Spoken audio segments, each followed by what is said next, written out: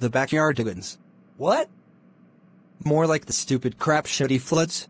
Oh my god! What the hell are these fucking animals? I hate the show just like Super Why from earlier today. These cunts are stupid. They also go on failure adventures like a pile of poop.